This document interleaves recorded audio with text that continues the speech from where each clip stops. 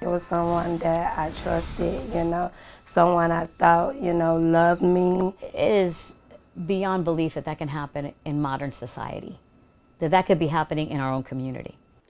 Right now, Florida ranks third in the nation in human trafficking cases, with most in Miami-Dade County. The vast majority of victims are adult women who have survived the horrific trade of sex trafficking, a billion dollar industry. And tonight, Local 10's Christina Vasquez has an exclusive rare view into an elite unit at Camillus house, providing recovery care that her survivor says saved her life.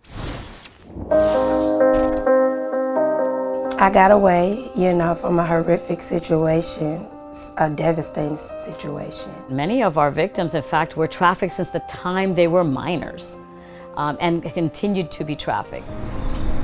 Nestled in the Camillus House campus. It took a lot of me, a lot out of me to say, hey, I can be independent again. Is the pioneering Project Phoenix Recovery Unit. Serving adults over the age of 18 who are survivors of human trafficking.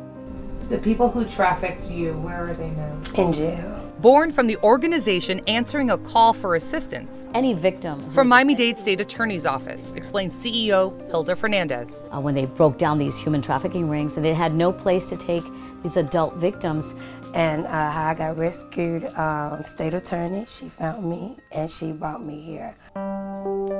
Focused on helping adults.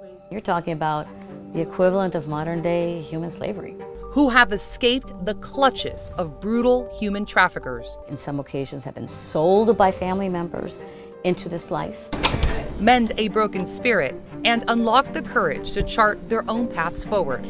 I hate to hear people say we asked for it because we didn't ask to be exploited. We didn't ask to be abused. She survived more than a decade of being held captive. Her biggest challenge when she first arrived here, she says, trying to fall asleep. I didn't know if he was going to find me again or had some people out there, you know, that's lurking, looking for me. Hello? The moment she realized it was safe.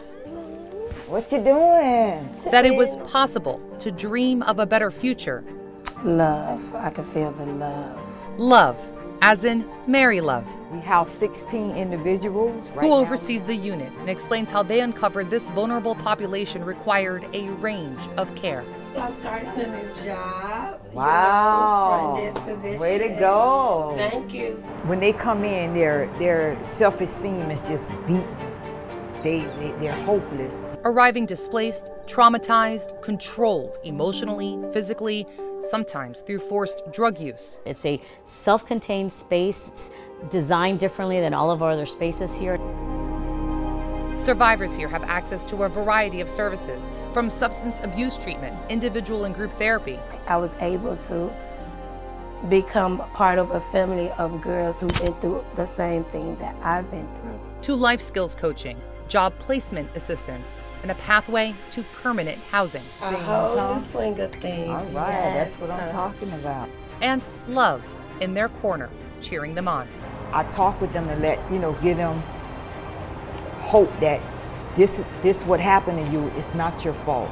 You can't keep blaming yourself, but what we can do is work through some of that trauma and try to get you back on track. This was, you know, really an opportunity for us to really address what has regrettably become a growing issue in our, in our country. I'm just happy I got my independence back. Never give up. You know, there's hope.